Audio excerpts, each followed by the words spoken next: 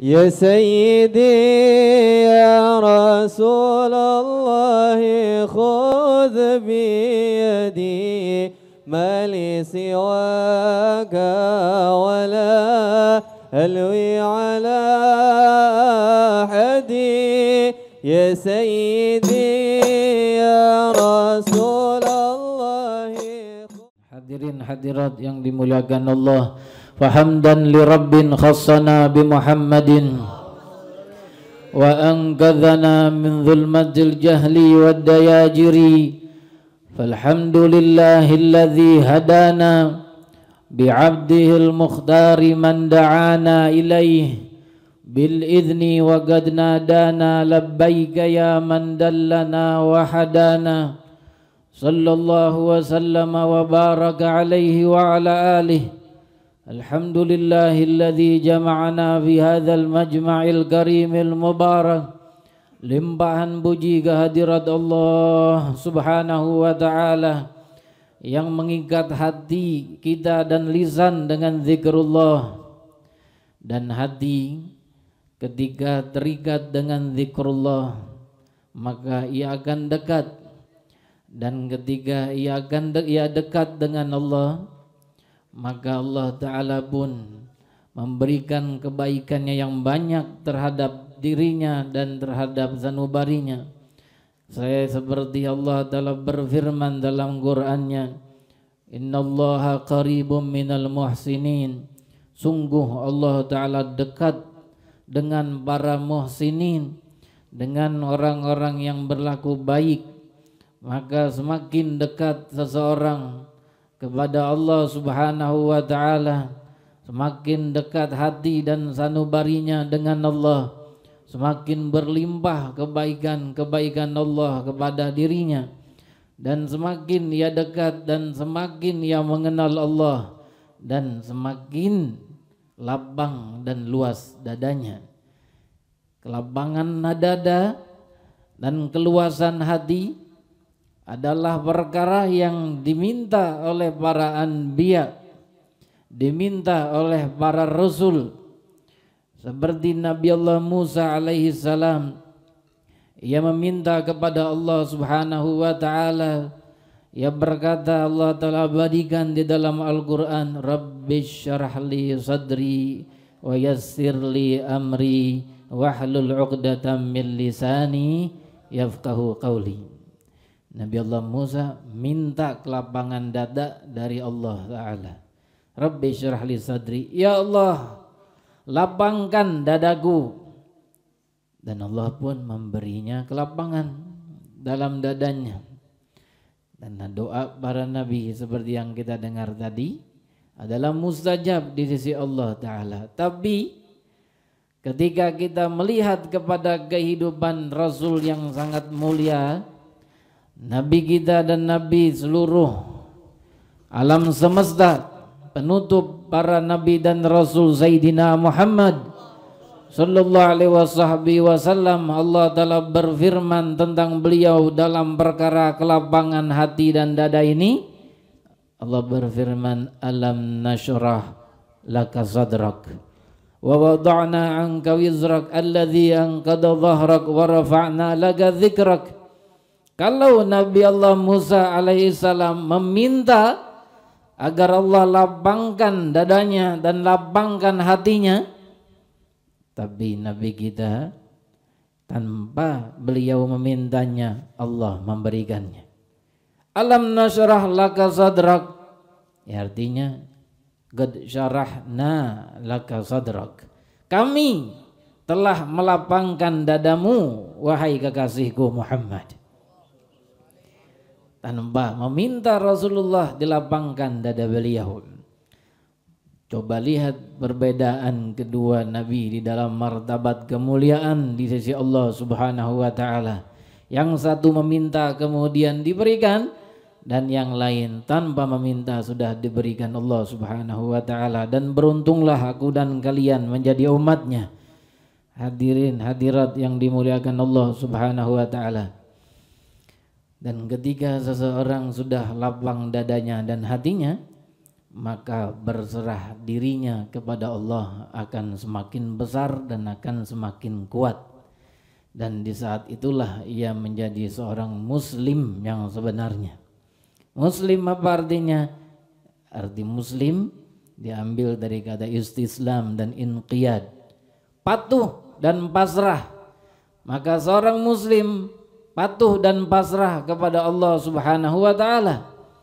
Dan diawali itu dengan lapangnya dada ketika diisi dan dipenuhi dengan cahaya-cahaya iman. Semoga Allah Ta'ala penuhi dadaku dan dada kalian dengan iman. Amin. Ya Rabbal Alamin. Hadirin hadirat yang dimuliakan Allah. Ketika seorang lapang dadanya dan kemudian ia patuh dan taslim dan menyerah diri kepada Allah Ta'ala. Maka akan timbul cinta-cinta terhadap Allah dan Rasul. Dari situlah para sahabat sangat mencintai Sayyidina Muhammad sallallahu alaihi wasallam.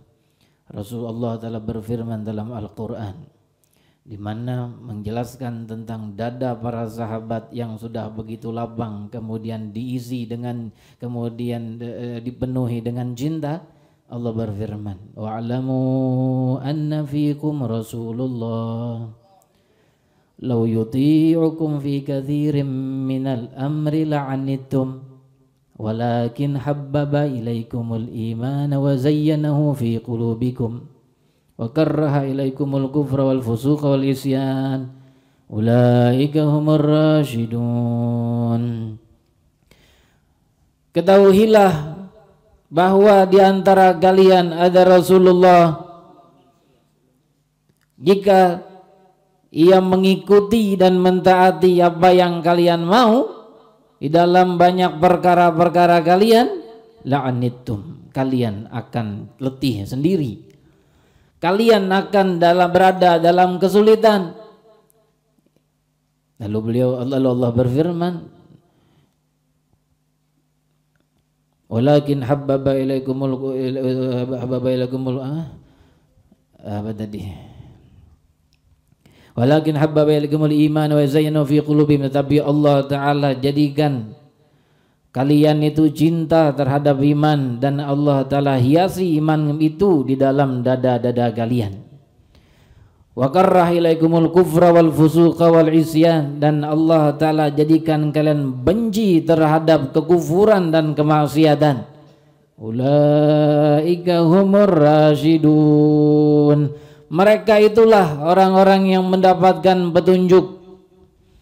Maka para sahabat Rasul Allah Ta'ala tegaskan dalam ayat ini bahwa keadaan dada mereka itu dipenuhi dengan iman mereka cinta terhadap iman. Di, dihiasi dada-dada mereka dengan iman. Dari itu nampak hal-hal yang menakjubkan dari diri para sahabat. Ketika hati mereka telah dihiasi iman dan dada mereka dipenuhi dengan cinta sampai-sampai Sayyidina Anas bin Malik rahimah radhiyallahu taala anhu arda mencintai apa yang disukai oleh Rasulullah padahal sebelumnya dia tidak sukai. Sebelum Rasulullah memakan buah yang disebut dengan dubba jenis sayuran yang disebut dengan dubba. Atau kita kenal dengan istilah labu siam di sini ya, sebelum Rasulullah memakannya dan terlihat oleh Sayyidina Anas beliau mencintainya dan suka dengan dubba ini karena beliau mengorek-ngorek dengan telunjuknya sayur itu kemudian mencari-cari duba ketika mendapatkannya beliau ambil beliau makan beliau cari-cari lagi dengan dengan jarinya kemudian ketika dia dapat diambil dan dia makan. Sayyidina Anas memperhatikan Rasulullah senang duba kata Sayyidina Anas setelahnya demi Allah setelah itu aku suka duba setelah itu aku suka dengan buah labu siam ini Wahai Sayyidina Anas, sebelumnya engkau tidak suka dengan makanan ini, dengan sejenis sayuran ini. Lalu ketika Rasul memakannya dan suka dengannya, karena ia memilih-milihnya, mencarinya dan kemudian ketika dapat menyantapnya dan mengkonsumsinya dan memakannya, engkau setelah itu baru suka. Kenapa wahai Sayyidina Anas demikian? Karena di dalam dadaku ada Sayyidina Muhammad. Karena di dalam dadaku ada cinta kepada Sayyidina Muhammad. Berkata Imam Syafi'i, jikalau dadaku ini dibelah, maka akan terlihat di dalam kedua di dalam dadaku yang terbelah itu yang satu bertuliskan Muhammad Rasulullah dan yang satu bertuliskan Ahlul Baitin Nabi. Cinta terhadap Rasul, cinta terhadap Nabi, cinta terhadap keluarganya ditegaskan oleh Al-Imam Syafi'i rahimahullahu taala pendiri madhab kita Imam Syafi'i Muhammad bin Idris Asy-Syafi'i rahimahullahu taala bahwa dadanya jika dibelah akan tertulis tulisan itu. Itulah makna daripada kelapangan dada yang dimiliki oleh para sahabat dan diwariskan oleh para tabi'in dan tabi'it tabi'in. Hadirin hadirat yang dimuliakan Allah dan kita menghadiri majlis seperti ini meluangkan waktu untuk duduk di dalamnya dan tujuan di antaranya adalah mendapatkan kelapangan dada dari Allah. Semoga Allah Ta'ala luaskan dadaku dan dada kalian. Amin ya rabbal alamin. Ya Rabbi ya arhamar rahimin. Wahai Allah penguasa alam semesta. Zat yang maha tunggal yang menguasai hati setiap hambanya. Mereka yang hadir dan yang mendengar lapangkan dada mereka ya Rabbana. Mereka yang hadir yang mendengar hiasi dada mereka dengan iman wafatkan kami dalam husnul khatimah amin ya rabbal alamin. Hadirin hadirat yang dimuliakan Allah. Banyak hal yang muncul yang diriwayatkan dari kehidupan para sahabat ketika mereka mendapatkan kelapangan dada. Tapi yang ingin kita bahas di malam ini adalah satu hadis Rasulullah sallallahu alaihi wasallam Sayyidina Umar bin Khattab radhiyallahu taala anhu arda hadis mauquf Sayyidina Umar yang mengatakan bukan hadis Rasul. Tapi diriwayatkan di dalam Imam dalam Sahih Bukhari oleh Imam Bukhari dan Sahih Muslim dalam oleh Imam Muslim hadis muttafaqun alaih disebutkan oleh Sayyidina Umar ketika beliau mencium Hajar Aswad yang kita kenal itu ada di salah satu sudut Ka'bah. Beliau pun mengatakan, "Inni la'lamu annaka hajarun la yadurru la, la tadurru wa la tanfa." Kata Sayyidina Umar, "Sungguh aku tahu bahwa engkau ini adalah batu yang tidak dapat memberikan madarat dan menolak madarat dan tidak dapat memberikan manfaat." Falaula anni ra'aitu Rasulullah sallallahu alaihi wasallam yuqabbiluk ma qabbaltu. Kalau saja aku tidak melihat Rasulullah sallallahu alaihi wasallam menciummu, niscaya aku tidak menciummu. Sayyidina Umar melihat Rasulullah nyium Hajar Aswad. Dengan segera beliau di belakangnya mengikut perbuatan Sayyidina Muhammad mencium Hajar Aswad pula. Kenapa wahai Sayyidina Umar engkau menciumnya? Karena kekasihku menciumnya. Karena idolaku menciumnya. Karena penyelamatku dunia dan akhirat menciumnya.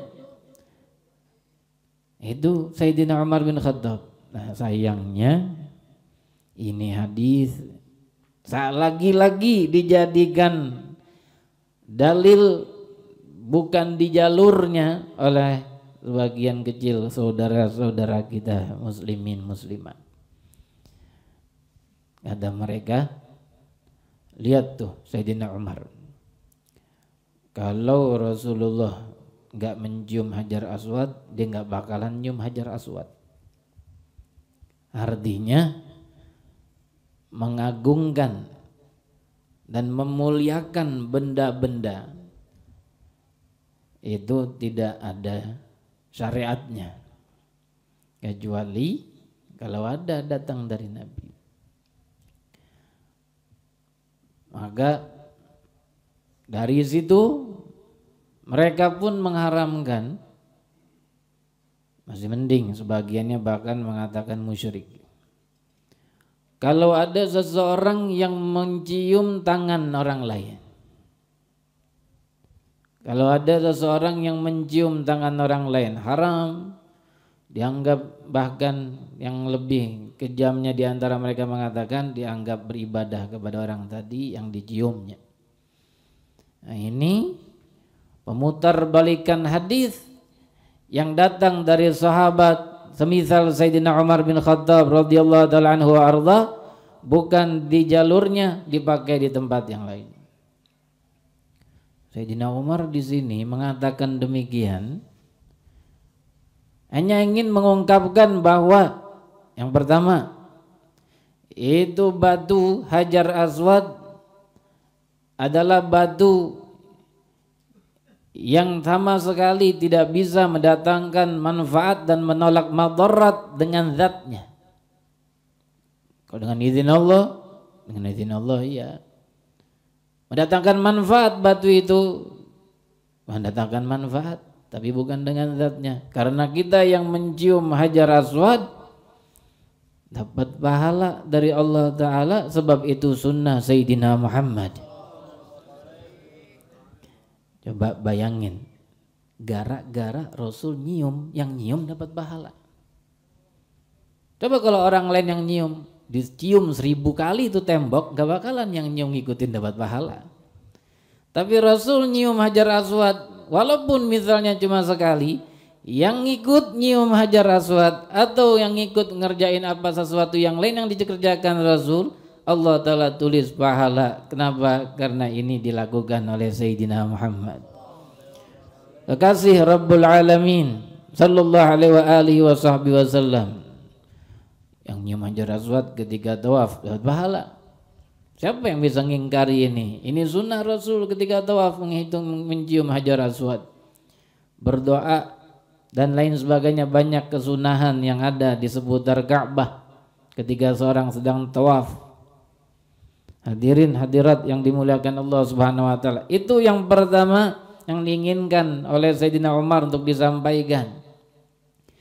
Lalu yang kedua, Sayyidina Umar ingin menampakkan kepada mereka-mereka orang-orang yang ada di zaman beliau di saat itu di mana sebagiannya adalah orang-orang musyrikin yang baru masuk Islam. Sebelum ini mereka menyembah berhala berupa batu-batu, apakah itu hubal, apakah itu lata, atau atau berhala-berhala lain yang di depan Ka'bah dulunya ataukah yang di rumah mereka yang mereka sembah, yang mereka buat dengan tangan mereka sendiri atau mereka pesan dari orang yang ahli membuatnya. Sayyidina Umar ingin menampakkan kepada mereka-mereka itu yang mu'allaf yang baru masuk Islam yang masih lemah iman mereka bahwa aku kerjakan ini karena aku mengikut kekasihku Muhammad sallallahu alaihi wasallam. Ittiba kepada Rasul mengamalkan ayat kul in kuntum tuhibbunallaha fattabi'uni yuhibbukumullah wa yaghfir lakum dzunubakum. Katakan jikalau kalian cinta kepada Allah taala ikuti aku. Begitu Allah Ta'ala suruh Rasul sampaikan kepada hamba-hambanya Kepada umat beliau Kalian ingin kecintaan Allah? Ikuti aku. Ikuti Sosok ini yang bernama Nabi Muhammad Sallallahu Alaihi Wasallam.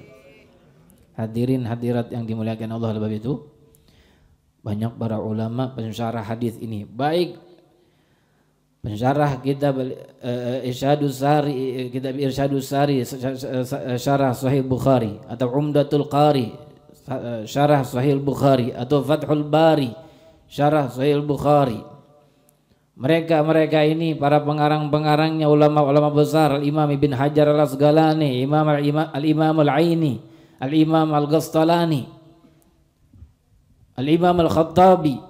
Mereka-mereka ini mengatakan di dalam syarah ini hadis kenapa Sayyidina Umar mengatakan demikian? Beliau ingin mengajarkan kepada orang-orang awam yang baru masuk Islam itu yang dulunya mereka menyembah batu-batu berhala-berhala agar jangan samakan mencium hajar aswad ini dengan penyembahan batu yang mereka lakukan dulu sewaktu mereka masih musyrikin. Dulu mereka menyembahnya meyakini Tuhan. Sayyidina Umar khawatir akidah yang dulu mereka miliki di dalam dada-dada mereka karena mereka baru masuk Islam dan lemah eh, iman masih lemah khawatir Sayyidina Umar akidah itu terbawa maka Sayyidina Umar mengatakan demikian ini batu Hajar Aswad tidak bisa mendatangkan madarat dan tidak manfaat dan tidak bisa menolak madarat. Seperti halnya Tuhan kalian dulu yang kalian sembah adalah batu yang tidak mendatangkan manfaat dan tidak bisa menolak madarat. Ini yang disampaikan oleh Sayyidina Umar. Lalu apa hubungannya dibawa-bawa sama nggak boleh takzim terhadap benda-benda? seperti yang dilakukan oleh sebagian kaum muslimin atau mungkin kebanyakan kaum muslimin benda-benda peninggalan-peninggalan para rasul peninggalan-peninggalan para aulia dimuliakan dan kemudian bahkan dilestarikan dijaga turun temurun dari generasi generasi apakah itu tasbihnya apakah itu imamahnya apakah itu kitab-kitabnya apakah itu bahkan sendal-sendalnya ini apa hubungannya dengan hadis ini? Gak ada hubungannya. Hadirin hadirat yang dimuliakan Allah Subhanahu wa taala. Bahkan Sayyidina Abu Hurairah radhiyallahu taala anhu arda bertanya kepada Sayyidina Al Hasan ibn Al Hasan rahimahullah taala radhiyallahu taala anhuma. Sayyidina Abu Hurairah berkata kepada Sayyidina Hasan bin Ali bukan Sayyidina Hasan bin Hasan. Sayyidina Hasan bin Ali bin Abi Thalib radhiyallahu taala anhum. Kata Sayyidina Abu Wahai cucu Rasulullah bukakan dan perlihatkan kepadaku mana tempat dari tubuhmu yang dicium oleh kakekmu dulu. Lalu dibuka oleh Sayyidina Hasan dan dikasih tunjuk nih pusernya. Apa yang dilakukan oleh Sayyidina Abu Hurairah? Dicium oleh Sayyidina Abu Hurairah pusernya Sayyidina Hasan.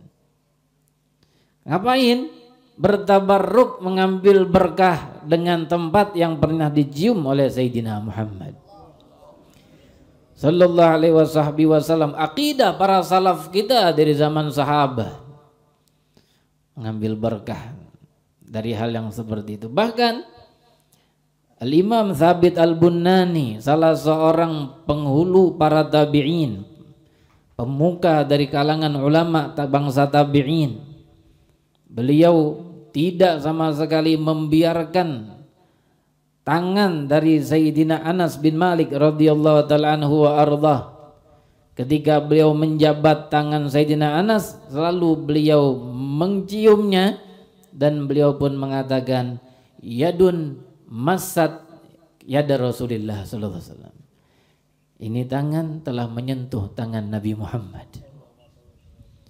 Di mana Sayyidina Anas kita pernah atau sering kali mendengar beliau berkata tentang tangan Rasulullah ma masastu bajan wala hariran alian min kafir Rasulillah. Tidak pernah aku menyentuh sutra yang lebih lembut lebih lembut dari kata telapak tangan Rasulullah sallallahu alaihi wasallam. Tangan itu ketika sering kali menyentuh tangan Rasulullah maka Sayyidina Thabit Al-Bunani tidak pernah membiarkan ketika bersalaman dengan tangan Sayyidina Anas melainkan menciumnya karena di situ ada berkah Sayyidina Muhammad. Sallallahu alaihi wasallam hadirin hadirat yang dimuliakan Allah Subhanahu wa taala. Begitu pemahaman kita terhadap nas. Dan di malam Kamis beberapa sudah lewat bersama kita sampai malam ini kita membahas nas demi nas yang setiap nas yang kita bahas adalah nas yang diperdebatkan oleh sebagian kaum muslimin saudara-saudara kita yang kurang memahaminya karena mereka memahaminya dengan hawa nafsu dan kita memahaminya mengikuti para ulama yang mereka ilmunya sampai kepada Rasulullah sallallahu alaihi wasallam maka selamatlah kita Hadirin hadirat yang dimuliakan Allah Subhanahu wa taala. Begitu. dalam pemahaman nas tadi bahwa Sayyidina Umar bin Khattab melakukan demikian bukan untuk menunjukkan bahwa tidak boleh mengagungkan sesuatu benda kecuali kalau ada contohnya dari Nabi. Sebab itu dalam riwayat yang lain Sayyidina Ali bin Abi Thalib berkata ketika mendengar Sayyidina Umar mengatakan demikian dan Sayyidina Ali, Sayyidina Ali faham maksud Sayyidina Umar. Beliau mengatakan bahkan ia bermanfaat mendatangkan manfaat dan dapat menolak madarat dan akan datang di hari kiamat Hajar Aswad mempunyai lisan dan dia akan bersaksi untuk siapa yang menciumnya di dunia. Begitu Sayyidina Ali menegaskan agar menjadi jelas permasalahannya bahwa apa yang diinginkan Sayyidina Umar itu batu sama sekali tidak mendatangkan manfaat dan menolak madarat dengan zatnya dapat mendatangkan madarat dengan izin Allah seperti yang disebutkan oleh Sayyidina Ali. Nanti dia akan bersaksi di hari kiamat punya lisan dan dengan lisannya dia akan berbicara yang menciumnya fulan fulan fulana fulana dan dia akan bersyaf memberikan syafaat untuk mereka yang pernah mencium hajar aswad. Semoga kita diberikan rizki mencium hajar aswad. Diberikan Allah taala kesempatan untuk hajjul baitullahil haram dan umrah dan kemudian tawaf dan sa'i dan menta'zim dan memuliakan syiar-syiar Allah di Makkah dan di Madinatul Munawwarah. Lalu kita berziarah kepada Sayyidina Muhammad sallallahu alaihi wasallam. Amin ya rabbal alamin. Kita tutup majlis di malam hari ini dengan zikrullah membasahi lidah menyegarkan hati dan mengenalkan hati yang terus. Seakan ingin jauh kepada Allah dari Allah Subhanahu wa taala kita dekatkan lagi dengan berzikir kepada Allah dan kita dekatkan lagi dan memperkenalkan lagi akan keagungan Allah. Tak ada yang lebih mulia dari hati yang sangat mengenal Allah Rabbul Alamin. Dan tak ada yang lebih mulia dari hati yang lebih mencintai Nabi Muhammad sallallahu alaihi wasallam. Fagulu jami'an ya Allah ya Allah ya Allah ya Allah ya Allah ya Allah Ya Allah ya Allah ya Allah ya Allah ya Allah Ya Allah ya Allah ya Allah ya Allah ya Allah Ya Allah ya Allah ya Allah ya Allah ya Allah ya Allah Ya Allah ya Allah ya Allah ya Allah Ya Allah ya Allah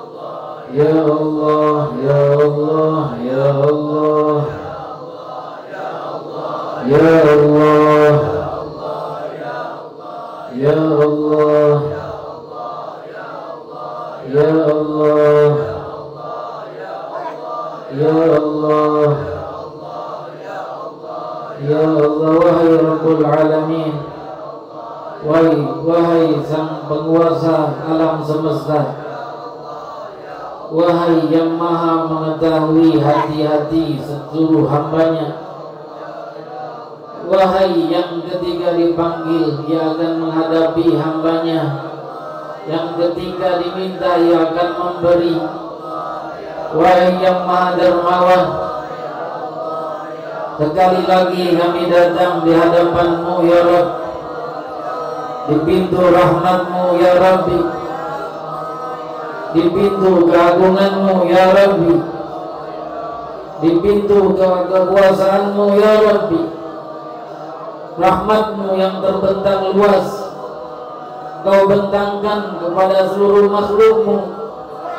Muslimnya, kafirnya terluka luput dari rahmatmu ya Rabb tak luput dari kasih sayangmu ya tak luput dari nikmatmu ya Rabb kami yang hadir dalam majlis zikir di malam ini.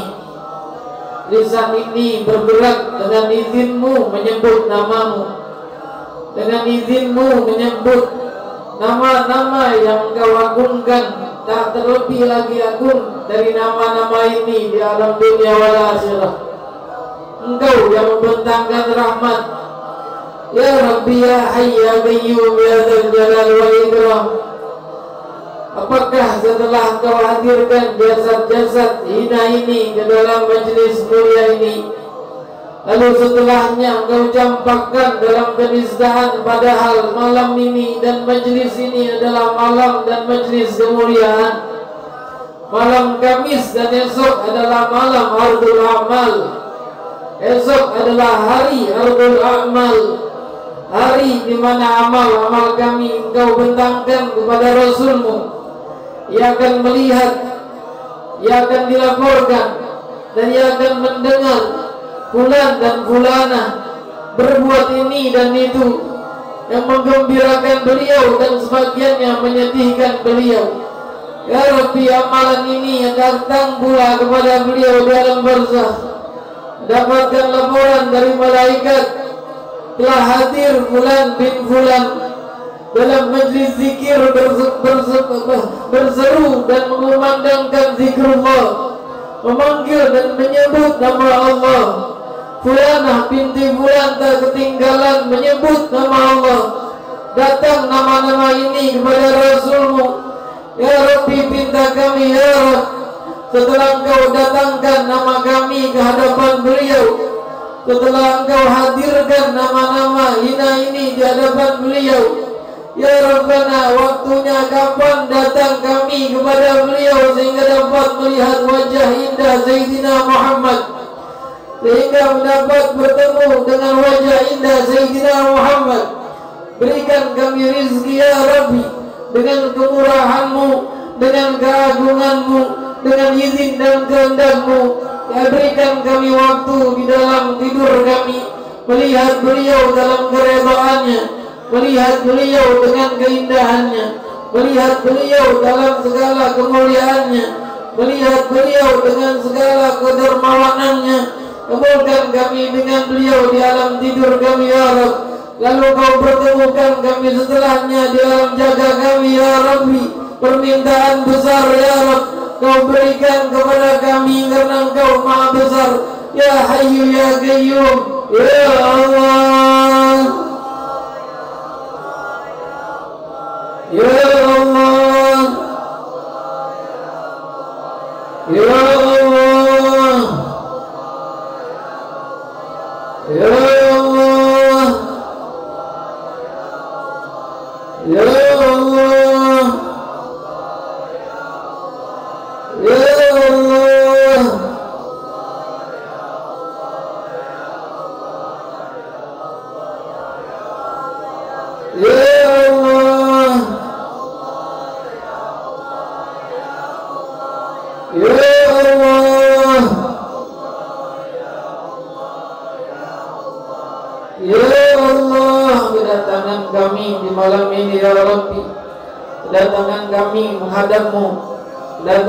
kami di depan gerbangmu.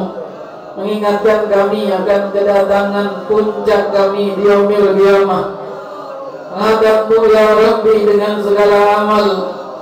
Segala amal baik dan buruk kami bawa ke dalam alam tersebut. Berdiri di hadapanmu dan kau bertanya. Setiap kami akan kau tanya.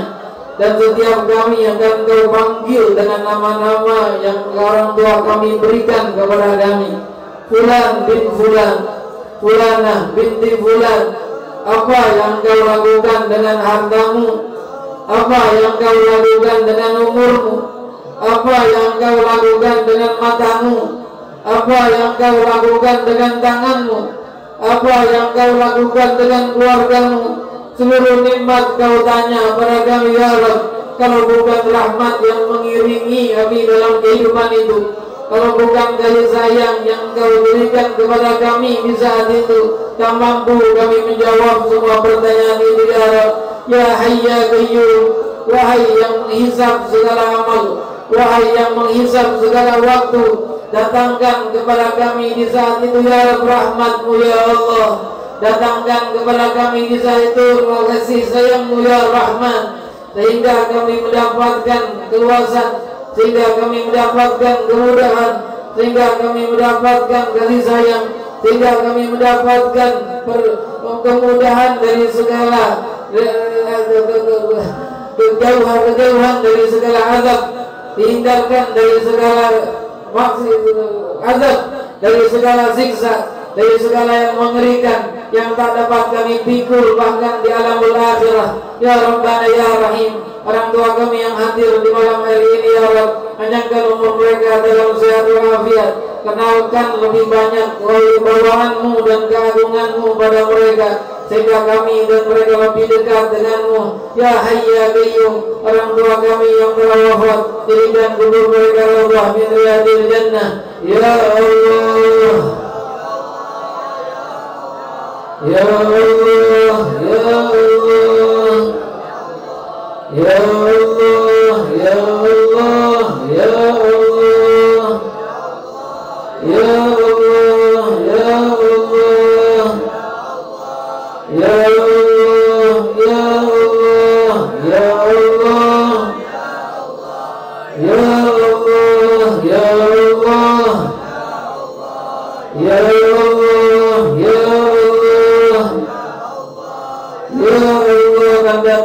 datang sekelompok kaum di umil kiamah kepada Rasul, kepada Nabi kami, kepada sosok yang kau muliakan dan kau muliakan lebih dari semua Nabi dan Rasul. Yang mereka mengaku bahwa mereka adalah umatnya lalu pun dia kemudian menoleh dan dia tak ingin melihat mereka.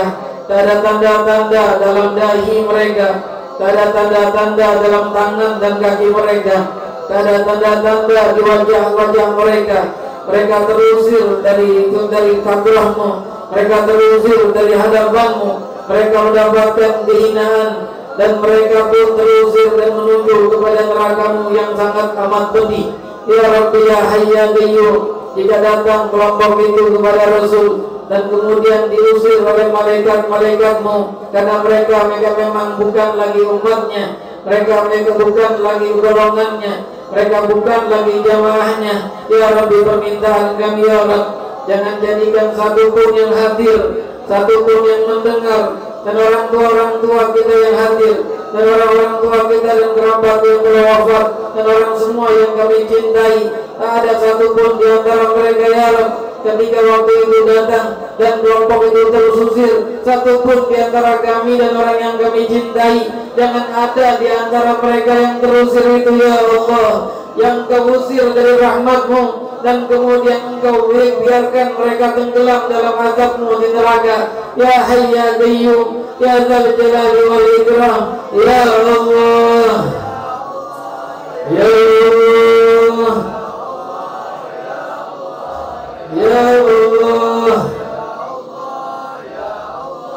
Ya Allah. Ya Allah. Ya Allah. Ya Allah. Ya Rahman. Ya